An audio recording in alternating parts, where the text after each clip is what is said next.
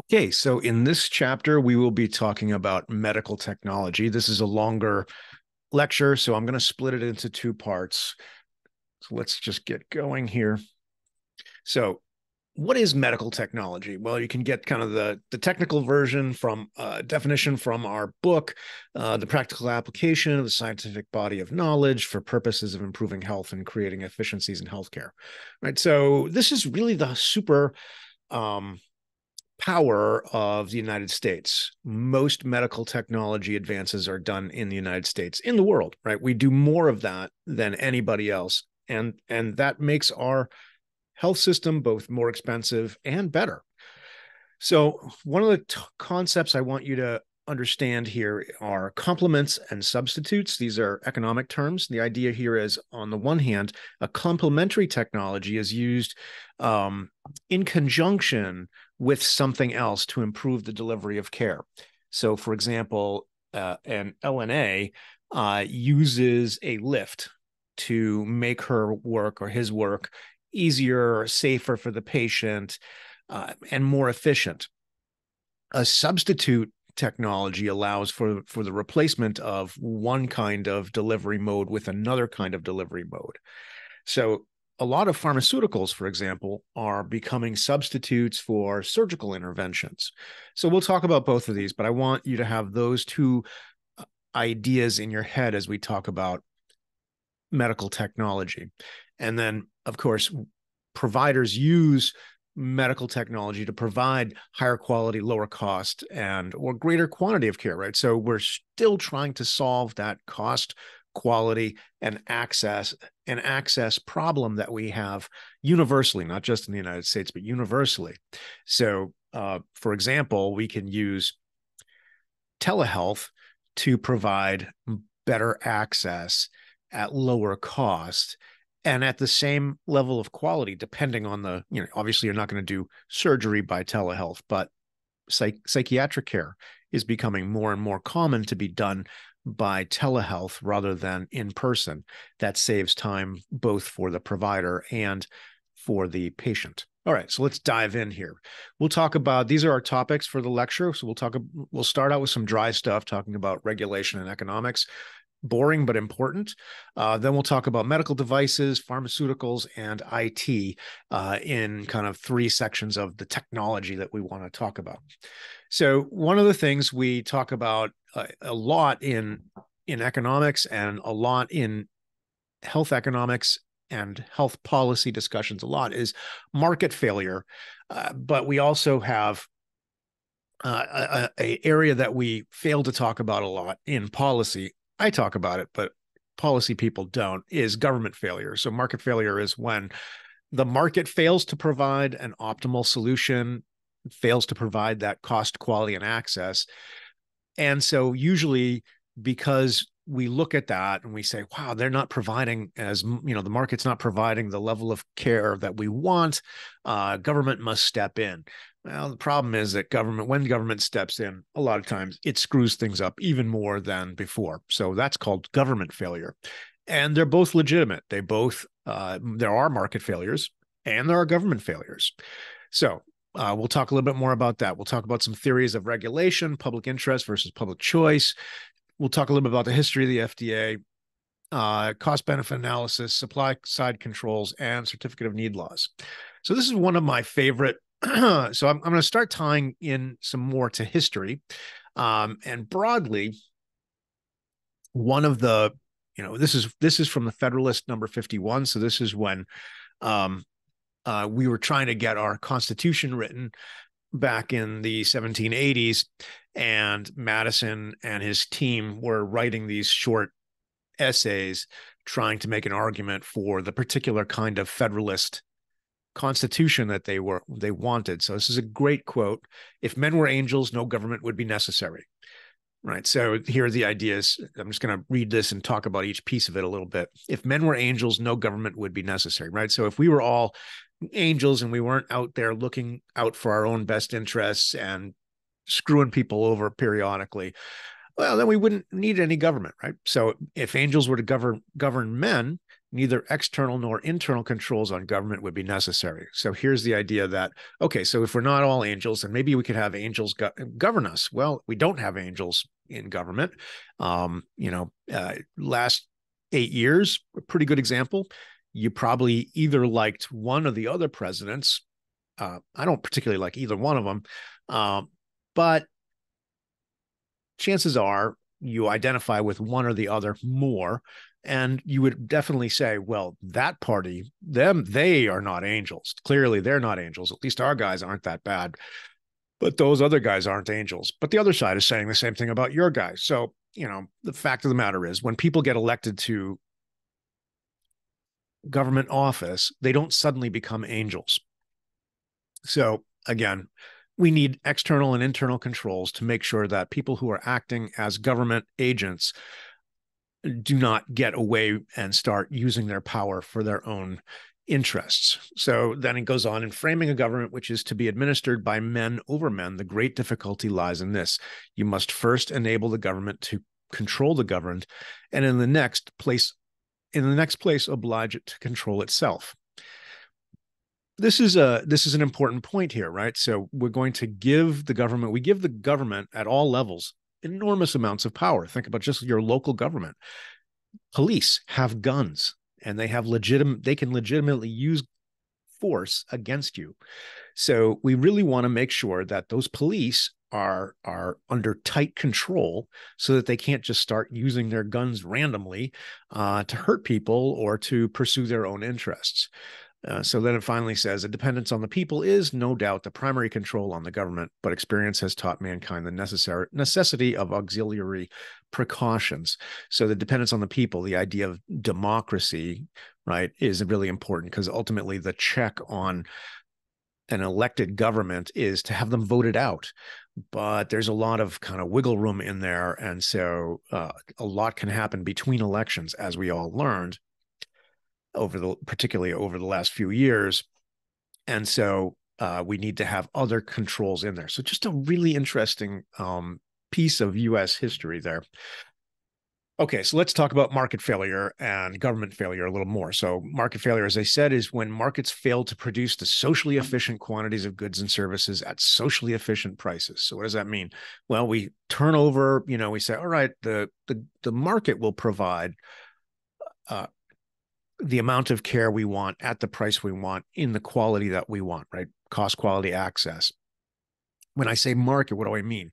Private actors, individual doctors or or medical groups that are not part of the government, that are not government agents, competing with each other. So we might have medical group A and medical group B, and they're going to compete with each other to sell you the best, highest quality, lowest cost, most efficient uh, care possible.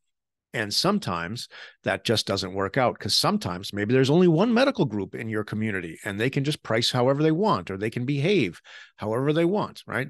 So that's when markets start to fail. Um, particularly so one area might you might be familiar with is monopoly right so when there's one provider and that's not uncommon particularly in new hampshire it's not uncommon to see one hospital servicing a fairly large area um, geographic area so who who's going to check the behavior of the hospital leadership if there's no other competition? And so that can lead to market failure. And so that's when we would hope that government would step in and fix things. But but there are problems with government failure and there's two kinds of government failure as well so government sometimes right because men are not angels um, and are not omnipotent and omniscient, right? They're not all powerful and they're not all knowing because government is made up of men and men are not omniscient. And so you have passive government failure, which is when government fails to act to correct a market failure. So the idea is that you have a market failure and the government doesn't act. And then you have active government failure, which is when government action results in a worse outcome than if markets uh, forces had been left alone. And so, kind of, this great line, you know, this idea of is the cure worth the, worse than the disease, but we're applying it here to Um, uh, to market failure. And I have an economics concepts economic concepts handout uh, for more details on this. I could spend several lectures on this, and I'm going to try to just whiz through it quickly. But you should have these two ideas in your head: market failure, government failure. So there is a there are two theories of government regulation two kind of broad theories of government regulation uh, one is goes back to the idea of public interest, right? So so it's an idealized uh, version of how government a- acts. Again, kind of based on the idea that men, when they get elected to office, become angels all of a sudden. Um, and so this is an idealized government agent acts to bring about the greatest well-being uh, to the citizens. The government, the agent governs. So when someone gets elected to office, they um, they only focus on providing the best possible outcomes for all um, all citizens. Now, we all know that uh, if you've been around long enough, that government agents, the government politicians, excuse me, politicians, number one, are focused on being reelected. So they respond very strongly to to pressures from the electorate that may or may not allow them to be reelected. And they're not going to do things that they don't think will, or that they think will cause them not to be reelected, even if that's not in the best interest of the community. And the nirvana fallacy is usually um, comparing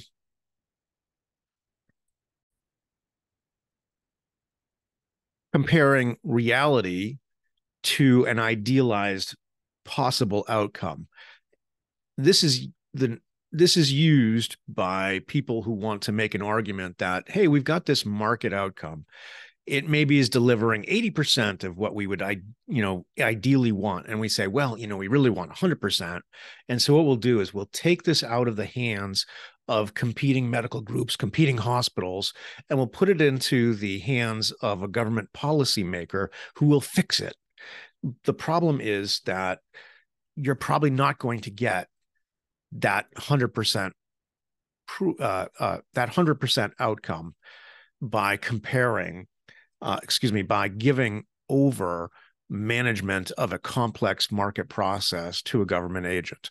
So the nirvana fallacy nirvana nirvana fallacy uh, is the tendency to assume that there's some ideal solution and that it can and then we're comparing what reality generates to um, uh, to what might possibly be possible. So, uh, communism is a great example. You know, there's always, you know, there's fans of communism always say, well, real communism hasn't been tried yet. But every example of communism that we've ever seen in reality uh, results in murder and misery. So I'm good with that. Right. But the communism is, is a good example of the nirvana nirvana fa- fa- fallacy. So we have public interest theory, uh, or public interest theory is basically government agents are out there acting in their uh, on behalf, holding holding the interests of citizens uh, in their minds as they go forward. Public choice says, and this is this is the theory that I identify with and I was trained with is that government agents uh, are human, right? And they act to maximize their own interests, not necessarily the interests of the citizens that they they govern. Um, and so this is this goes with the Federalist quote that I gave you, which is, you know, you take a human being who has the desire and willingness to run for office. That's a person who's got a pretty strong ego uh, and they may be driven in their own minds by a sense that they will be the best possible leader. But when they get into office, what we see time and time again is they act in such a way as to is to make sure that they keep on getting elected. Um, and so public choice really just says, look, human beings don't stop being human beings just because they get elected to federal uh, to government office federal state otherwise. So public choice acknowledges both market failure and government failure whereas public interest really only acknowledges market failure. Um, i have a great uh, podcast called bootleggers and uh, about bootleggers and baptists which i will share with you and i highly recommend uh, but i'm not going to go into it here for sake of time okay so let's talk about how federal regulation has emerged in healthcare over the uh, over the last century, a little more than century. So in 1906, you know, we're going through the Industrial Revolution, starting in the 1750s, really kind of wild times. We're starting to see industrialization of the food supply. So in the 1800s, so in the 19th century, you know, earlier and earlier, you would have only eaten food that was produced near near you. But as rail cars are invented, uh, as the railroad comes online and, and spreads, and as sorry, as refrigerated rail cars become a common thing, we can now move, in particular, meat a long distances. So it used to be if you wanted to have a piece of steak, you would buy it from your local butcher who lived down the street from you because there was no way to transport butchered meat. So so meat that had or you know animals that had been slaughtered butchered turned into steaks right? It used to be such that you know if you wanted a steak you walked down the street to the local butcher because there was no way to transport meat safely once it had been butchered over long distances. Well, enter the rail car, and suddenly we can transport meat long distances safely. And so there was a whole lot of question about whether it really was safe. So we went from having local supplies of meat to having centralized supplies of meat. So Chicago and the Chicago area continues to be one of the largest suppliers of meat uh, in the country. And suddenly you had meat coming from Chicago to New Hampshire, for example. And we wanted to make sure that, uh, amongst other things, that that meat supply was safe, right? And so not and so it becomes not only meat but all sorts of other supplies of food and drugs are coming from all over the place rather than local supplies. And so 1906, the federal government gets into the act of of regulating uh, food and drugs between states. So this is we'll talk more about this, but in the US Constitution, I've kind of made reference to this, but in the US Constitution, regulation of economic activity is given to the states. The only economic role that the federal government is supposed to have is for interstate commerce. So once you start shipping, so if you're slaughtering meat in New Hampshire and selling it in New Hampshire, the US federal government isn't supposed to have any role in regulating whether the meat is safe or whether it was done humanely and so on and so on. But once you start shipping meats, foods, drugs across state lines. So, for example, you're shipping it from Chicago, Illinois to Durham, New Hampshire, where we are here at UNH. Now the federal government can step in because that is interstate commerce. It's going from one state to another state. And so now the federal government has constitutionally has the right to regulate such trade. So we have the Pure Pure Food and Drugs Act creates um, uh, the you know, USDA's Division of Chemistry to regulate such things, right? So we're now we're looking at, you know, trying to make sure that stuff isn't being added inappropriately. And you know what? Stuff was. Uh, there's always, uh, again, people are people. They're always trying to make a buck. Um, most people are perfectly good, but not all. And so we had people putting bad stuff into food uh, to try to make an extra profit. So in 1930, uh, the Food and Drug Administration is is implemented for this uh, function.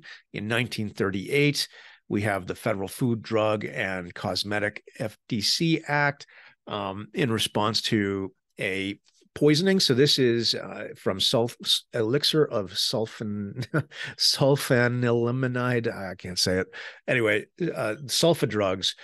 We'll talk more about later, but sulfa drugs were some of the early antibiotics um, that uh, were really important, and some some kids get poisoned in 1938 um, by a manufacturer who was who did this who made this drug inappropriately. So now the FDA is is allowed to regulate the pre-marketing safety of drugs and devices. So um, and this is I, I want to focus here. This is just on safety. So if they say the the difference between safety and efficacy, which we get into in the next line, the difference between safety and efficacy um, is that Safety means if I say, here's my drug, and I want you to take, you know, one ounce of it once a day. Safety means if you take this drug, it won't kill you. It won't, it won't poison you. It does not mean that will it will actually do what I say it's going to do. So I could sell you um, a thing that I claim is a drug under the safety regime. I could sell you a thing that I claim is a drug, you know, and it's in a little bottle, and I say take one ounce a day and you take it one ounce a day and you're fine. It could just be, I could be selling you a bottle of water and I'm telling you this will cure you, but it's really just a bottle of water. It's safe. And under this, under the safety regime only, um, the company doesn't have to prove that it actually works. All they have to prove to the government is that it's safe to take in the dose that is recommended. In 1962, we have the Kefauver Harris drug amendments in response to the to thalidomide, which allow the FDA to conduct pre-market reviews of safety and efficacy. So thalidomide was a drug that was uh, was being prescribed to mothers to help with morning sickness. So so when they're pregnant, so young uh, mothers who are pregnant um, you get morning sickness which makes you feel like you want to vomit. So people were uh, mothers pregnant mothers were being were being prescribed thalidomide. What happened is it turns out is thalidomide if someone take if a if a woman who is pregnant takes thalidomide um, it can result in birth defects. Specifically it causes malformation of the limbs so the hands and the feet and the legs and the arms um, and it's a really tragic thing. And if you look up thalidomide on the internet, you'll see uh, some some images of children who were born with these deformities as a result of thalidomide. So this is really a safety issue, but it winds up, you know, it winds up giving the federal government power uh, to to review new drugs, not only for safety but also for efficacy. In 1976, we extend this pre pre market review to medical devices. So we're starting to have medical devices more widely sold on the marketplace, and so we start um, regulating those as well. And I want to pause here for a second. So we have the market, right? Market failure, government and, and government intervention. So market failure, you could argue that people were people manufacturers of drugs and medical devices were not taking adequate care as they started to develop and market these new interventions for the marketplace. And so we had a market failure. We had a failure to provide safe and efficacious drugs and medical devices. And so we needed the government, federal government to step in and regulate. So that's a good example of a market failure where the government steps in and regulates. So then in 1983, we have the Orphan Drug Act, which provides incentives for um, pharmaceutical companies to research and manufacture drugs for rare diseases. So there are people who have unusual diseases. I always I joke I joke uh, a lot uh, with my physician colleagues that you never want to be the interesting patient, right? Doctors love interesting patients, but you never actually want to be the interesting patient, right? Because nobody knows what's wrong with you and trying to figure it out. Well, people who, there are people who have rare diseases, they are often misdiagnosed because they're the disease itself is rare. And eventually, once it is in fact diagnosed, a lot of times pharmaceutical companies can't make a can't sell enough of the drug to make a profit to justify making the drug. So this is another market failure, right? Pharmaceutical companies would be more than happy to make the drug to treat the rare disease. The problem is there it because it's the disease is rare, there aren't a lot of consumers to, to who want the drug. And so in order for the pharmaceutical company to produce the drug, they would have to charge uh, charge a cost that would exceed the patient's ability to buy the drug. And so this is another example of a market failure. So now the government steps in, provides incentives, money, in other words, to drugs to do research, excuse me, to pharmaceutical companies to do research to manufacture drugs for small populate people who are, you know, by definition, if it's a rare disease, it's a small population that might buy the drug.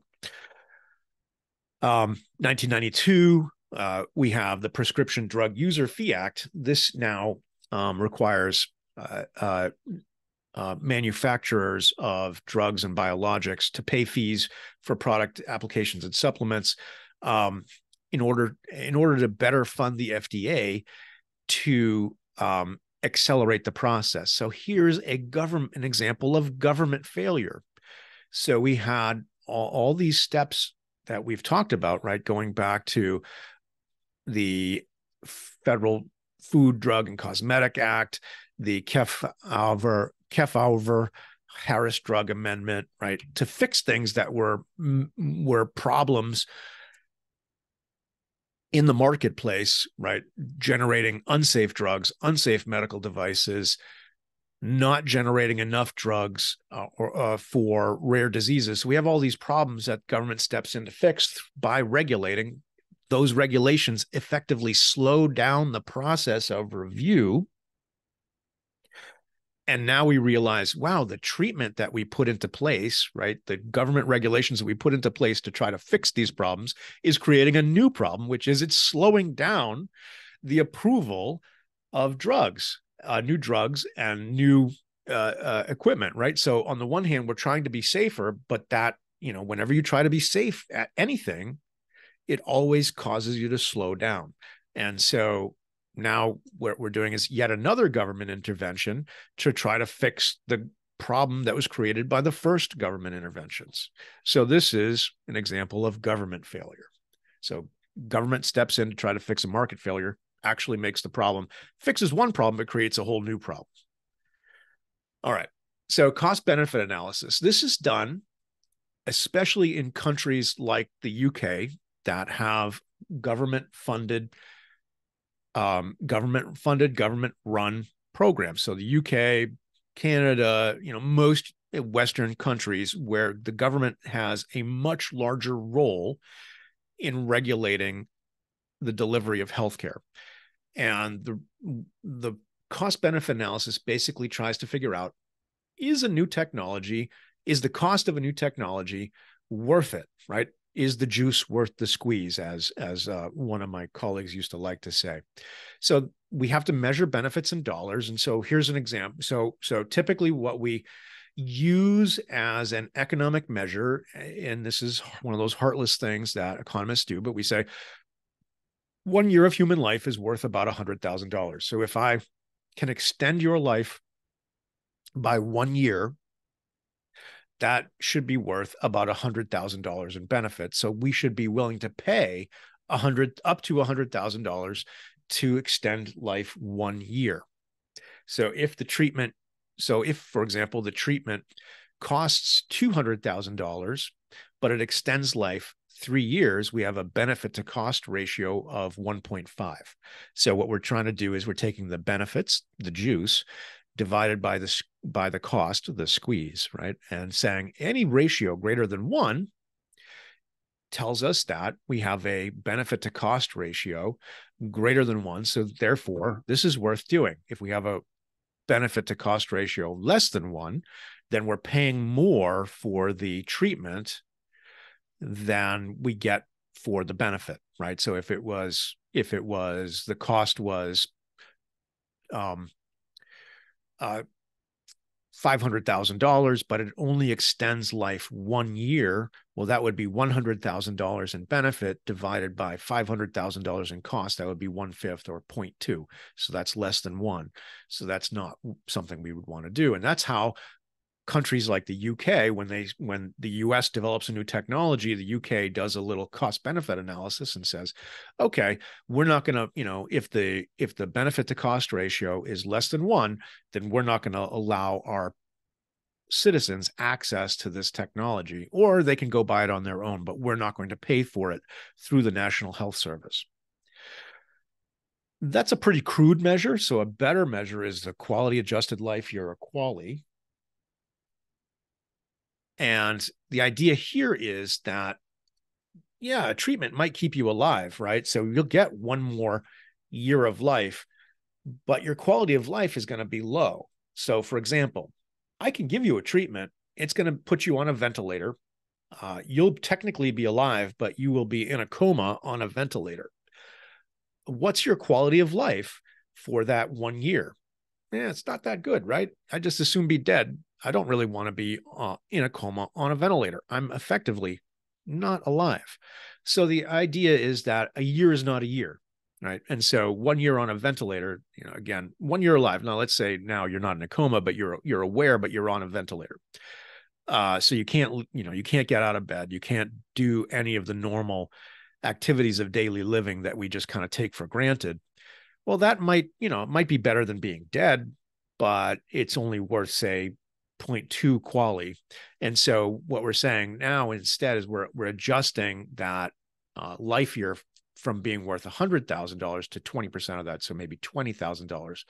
Now we plug that into our benefit cost ratio and it changes uh, our perspective on whether the intervention is worthwhile or not.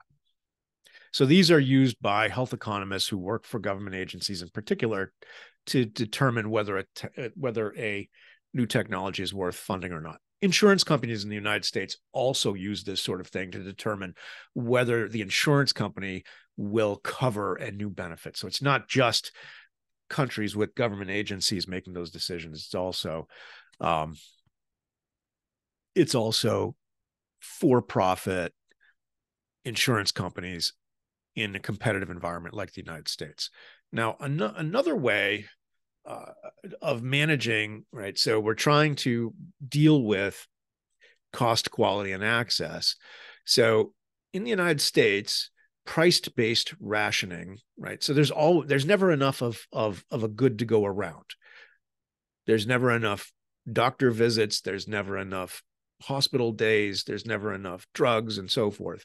So we can we can decide who gets how much of a limited resource in a couple of ways but the decision to allocate is called rationing right so whenever we have a limited resource, we have to ration. And we can basically do two kinds of rationing. One is price based rationing, which means that the market is going to make that decision. In other words, the rich get anything they want, the poor have to choose and may not get anything. So if you're eh, so price based rationing means really boils down to if you can afford it, you can have it, which is pretty pretty crude and kind of barbaric when you start talking about people's health. So, because that's a, generally offensive to most people when it's presented that way, we see a lot of non price based rationing. So, in other words, this is if we're not going to do it through the market, we're going to do it through government. And so we're going to do it through a political process. And that is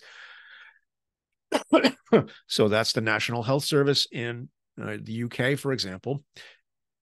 They still engage, and, and Canada, they still engage in rationing, but it's a political process. So it's especially important, you know, like I say here, when when patients aren't paying for their own care. So the UK patients pay nothing for their care, and so therefore patients will look at care and will consume more care because they don't see it as as as a dollar cost to them. So they're not thinking about, hmm, you know, if I buy this particular care, then I can't buy something. I can't go buy that new TV set that I really want. Instead, what they what patients in the UK say is, I'm going to get my care because the government owes it to me, and I'm going to go buy the TV set. But in the United States, you have to choose, right? Because it's price based rationing. Healthcare in the United States is mostly price based rationing.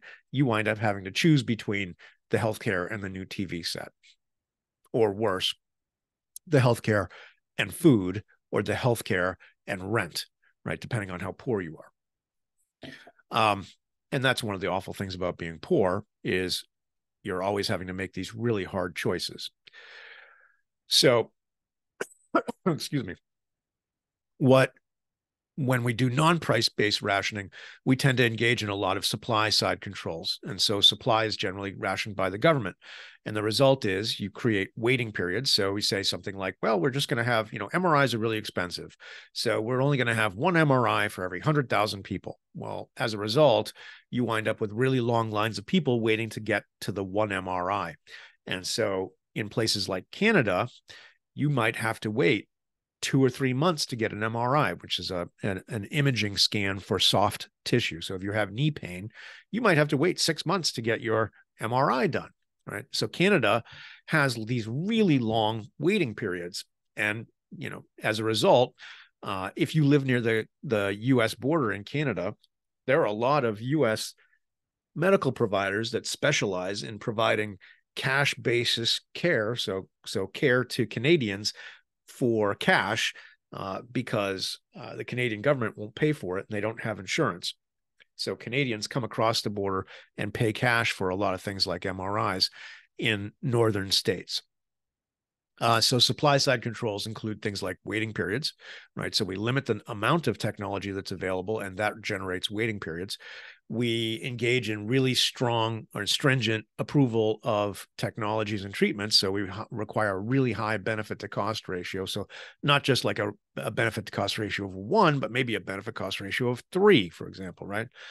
And then we limit formularies. So so a formulary is a list of drugs that are provided by a particular pharmacy. So if you're if you're in the UK and you're going through the NHS, all the pharmacies are run by the NHS. So the NHS then determines what drugs get sold, not sold, excuse me, but but are approved to be given to patients.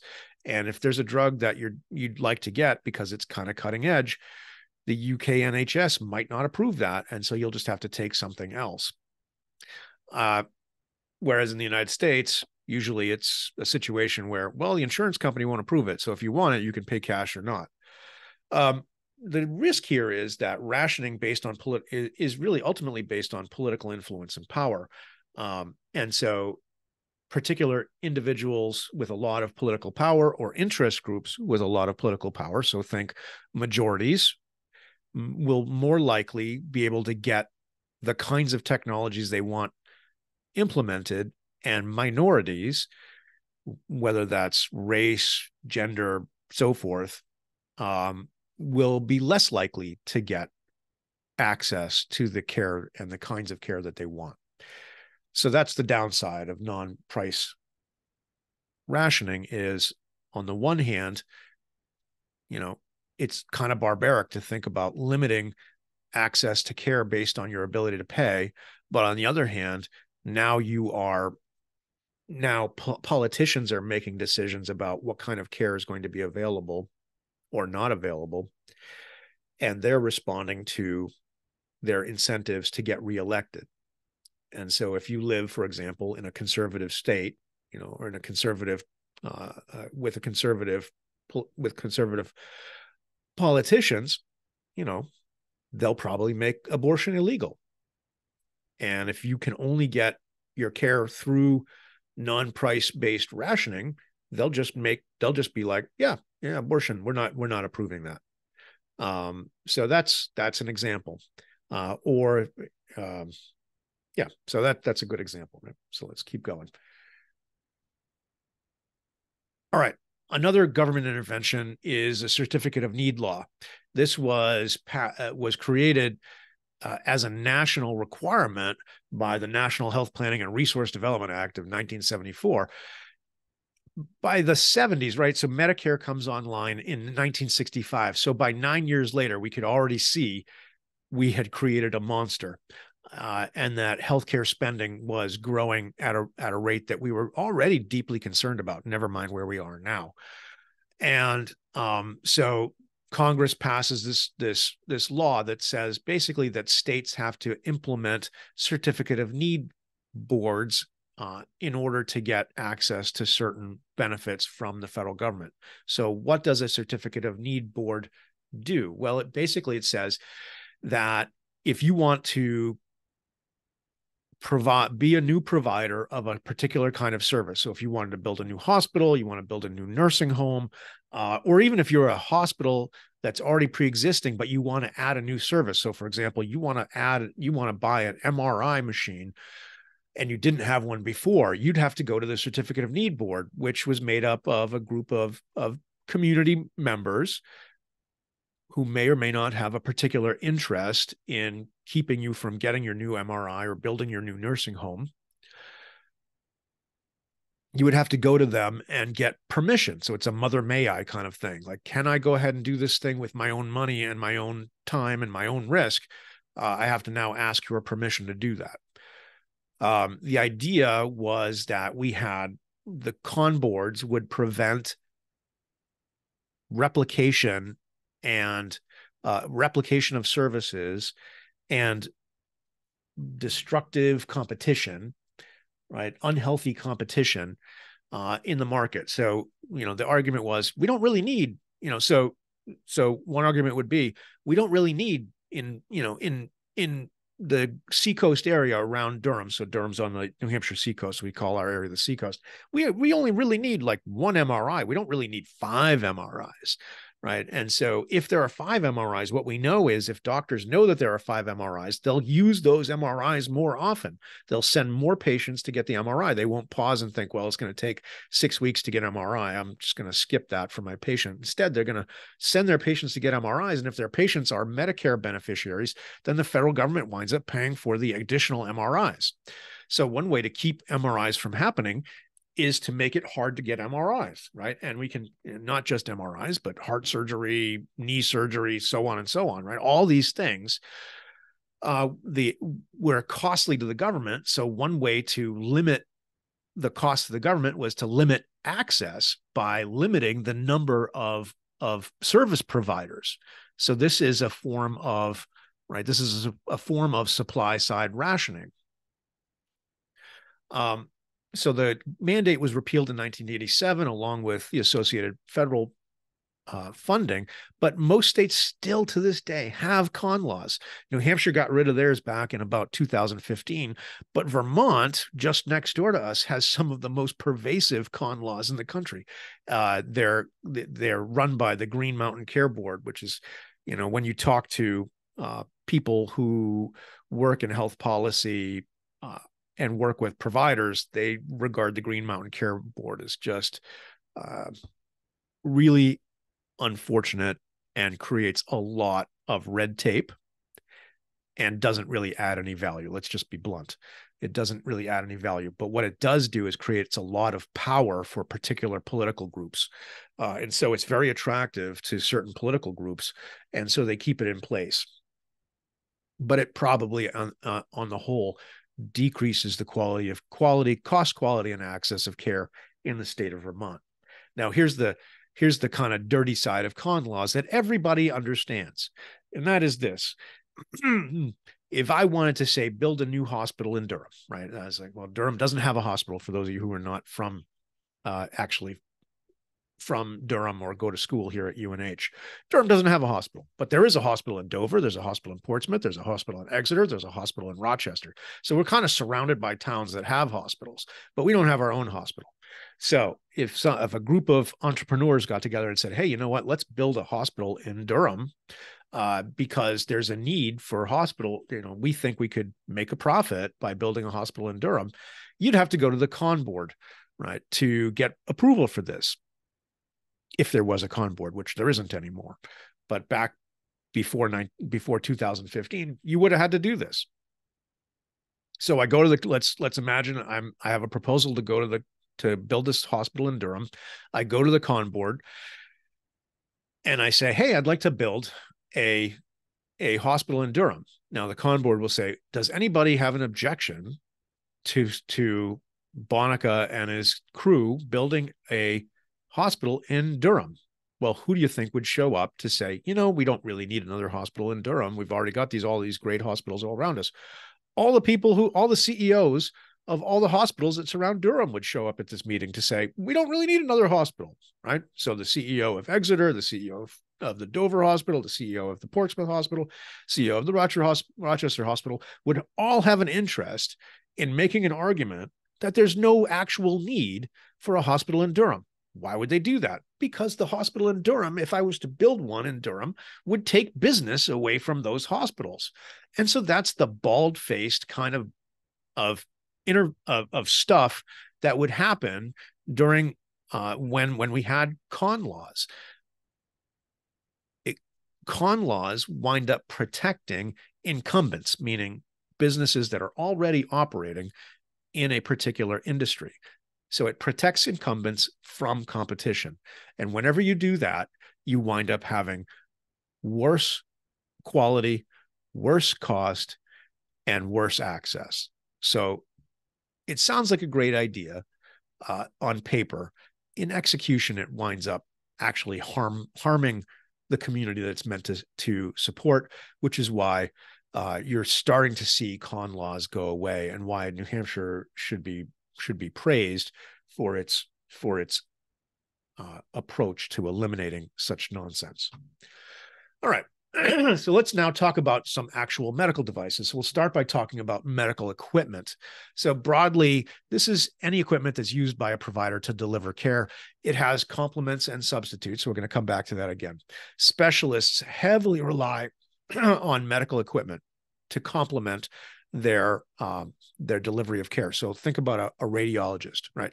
What is a radiologist? Is a person that reads imaging studies done by equipment. So what's a radiologist without an X-ray machine? Or an MRI or a CT or any of the other kinds of scanners. A radiologist literally is um, no different than me if if he or she doesn't have access to his or her equipment. Surgeons, right? So, but a radiologist who has access to an MRI is a super valuable thing. And so, equipment is a complement to a radiologist. A radiologist by himself is pretty use pretty useless, but a radiologist with imaging equipment is super valuable. um, surgeons are, are are starting to use robots. They're one of the more famous ones is called the Da Vinci robot. Um, and uh, this now the robot is a complement to the surgeon in that a surgeon who has been trained to use a robot does can do procedures faster so therefore it increases access at a, and at a higher quality.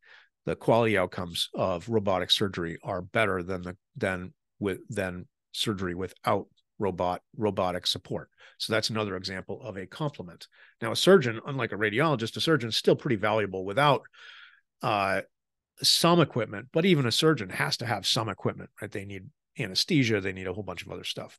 So one of the things that I like to think about, and we'll talk more about this uh, as we talk about hospitals, is the hospital is really kind of a doctor's workshop.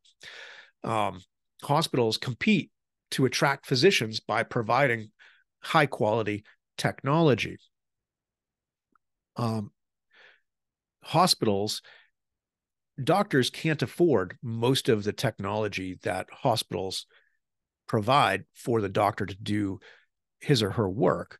And so the hospital becomes a centerpiece of america of, of medicine across the developed world uh, because it becomes a repository of high cost technology. So a typical radiologist can't afford to have her own MRI machine. Um, and so instead, the radiologist shares an MRI machine with other radiologists, and the hospital buys the uh, machines. so we'll talk more about doctor's workshop idea as we go along.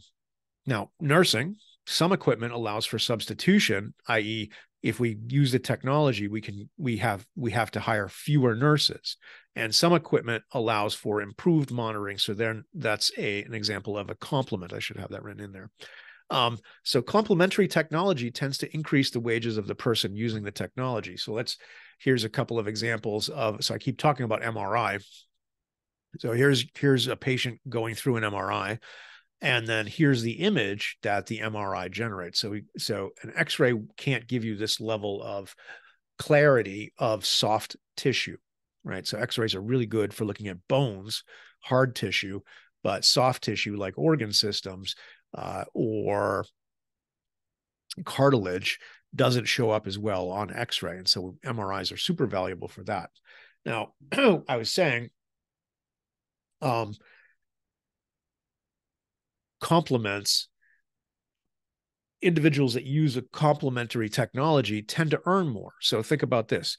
Would you pay a who would you pay more to dig a ditch? Um, uh, a man with a shovel or a man with um, a backhoe? Or who would you have to pay more? If you were hiring people to to dig you know there's a reason why people in in developing countries make a lot less income. It's because they tend to have access to less technology. If you're a backhoe operator you make you can make a really good living because and the reason you can do that is because you can dig a ditch you can dig 10 ditches in a day right with your if you're operating your backhoe. So you can charge 10 customers for 10 ditches. But if you're a guy with a shovel you might only get half a ditch done in a day right? So you're going to have if you're a backhoe operator and you have a backhoe right importantly you have the technology you can make a lot more income. And so doctors who have access to high tech equipment can do a lot more a lot more patient can see more patients and can do higher quality care. And so therefore they earn more income. So a complement is an expensive you know can be an expensive technology. So is an mri really necessary? Well in the us you know there are a lot more mris per 100000 people than there are in almost any other developed nation right so is it really necessary well, in reality, we probably, in the US, we probably use MRIs more often exactly because we have more of them. But an MRI is really expensive. An X-ray might cost $100, whereas an MRI might cost $1,000 for the same, you know, same imaging. Now, the quality isn't the same. Like I said, you're not going to get this quality of image with an X-ray. And so, but the question is, is it really, is it really medically indicated to use the MRI as often as we do. Here's an image of robotic surgery. Um, you know, this is an ex- this is a Da Vinci robot. You can see the name right there. Here's the surgeon sitting over here. Here's the patient. Isn't that wild? The patient, the surgeon is a few feet away, he's not not in another room, but he's a few feet away from uh, the patient doing surgery using some joysticks. And here's the you know here's the equipment. Now this piece of equipment is like a million dollars right? A million dollars to buy one of these bad boys. And then it comes with a pretty expensive tail um, in the sense of like a maintenance tail. So this is a, a lot of money. And the hospital, here's the important thing: the hospitals don't, uh, hospitals and and or the physicians don't have the ability to charge more because they're using the robot because they're doing the same surgery. It's just being done with a robot assistance. Um, so that's a that's a challenge we have uh, here's an example of a complement to nursing staff. This is a smart hospital bed. Um, and what this can do, right? You can see all the kind of the uh, readouts here.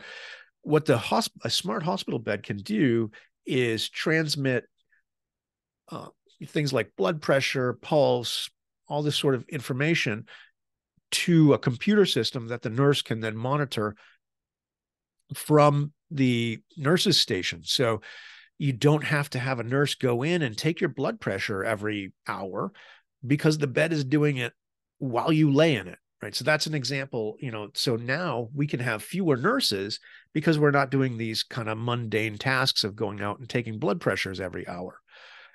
So that allows you to get have fewer nurses to provide the same level of care or it allows you to improve the quality of of the care because the blood pressure is being done constantly automatically rather than just every hour. But again one of these one of these smart beds costs hundreds of thousands of dollars. It's not a cheap thing we have uh, some some cute delivery robots so so again this is a great substitute for low wage workers right? So we have a lot of people in hospitals that do things like deliver food trays that pick up medication and deliver it from the pharmacy to the ward where the patients are or picks up lab you know labs uh, blood samples or urine samples that are being drawn on the ward and takes them down to the hospital laboratory well if if the if you could just summon a little robot you know if the nurse on the ward can summon a little robot and say hey it's time for mrs smith's um, uh, medications and the robot gets some you know gets told hey go pick up the medications from the pharmacy now a, a aide doesn't have to be paid to walk back and forth carrying trays of medications from the pharmacy up to the ward or trays of food from the from the dining uh, facility up to the uh, from the cafeteria up to the um, up to the ward right so this eliminates this is a substitute for nursing or or unskilled labor uh, another uh, complementary technology that is also a substitute uh, is patient lifts. So here's an example of a lift being used by a probably a, a CNA, a nurses, uh, uh, or an LNA, depending if you're in New Hampshire or not, right? And what we're doing is we're we're helping a patient do a transfer. I talked about this in the last class, right? So this this elderly woman maybe is not capable of getting out of her bed and into her wheelchair or getting out of her bed and using the commode. And so the aide is using this lift technology, which enables her to do to do make the transfer more safely.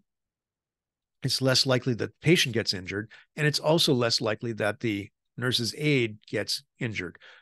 Nurses' aides and nurses get a lot of injuries from trying to move patients. So if we can eliminate some of those injuries, right, we can improve the experience of the patient, we can improve the quality of experience for the provider, and we can also do it with fewer people. Now you're supposed to be doing this with two people for safety purposes, but imagine trying to even a small woman uh, like this the woman in this picture, but imagine say a you know a patient who's 300 pounds trying to make that transfer for somebody who's 300 pounds who can't help you because they are are are uh, disabled in some way so this is a, an example that's both kind of a is both a um, complement in the sense that it improves the quality of experience of the patient and and the provider and a substitute you're able to do the same thing with less manpower all right so we'll stop there uh, for part one, and I'll pick up again with part two here in a minute, or whenever you're ready to watch it. Right, that's the miracle of uh, having it all online.